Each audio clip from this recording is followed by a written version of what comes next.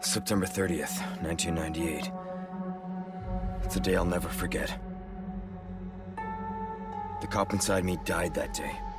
And that night, Raccoon City was wiped out, thanks to the bioweapons created by Umbrella. Somehow I made it out, but too many others weren't so lucky.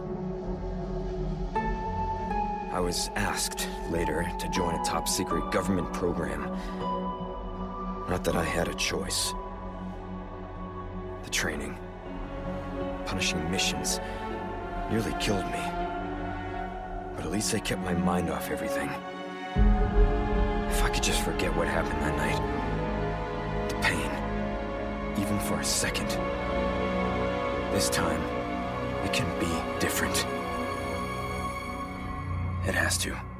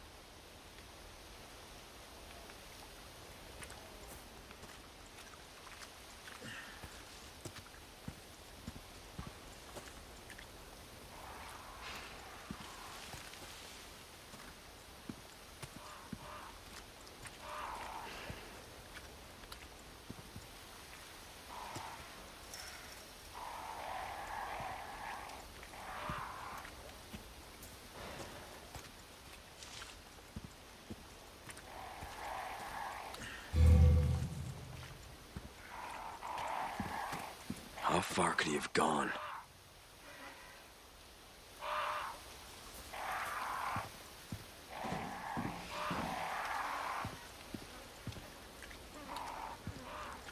Ugh. Ugh.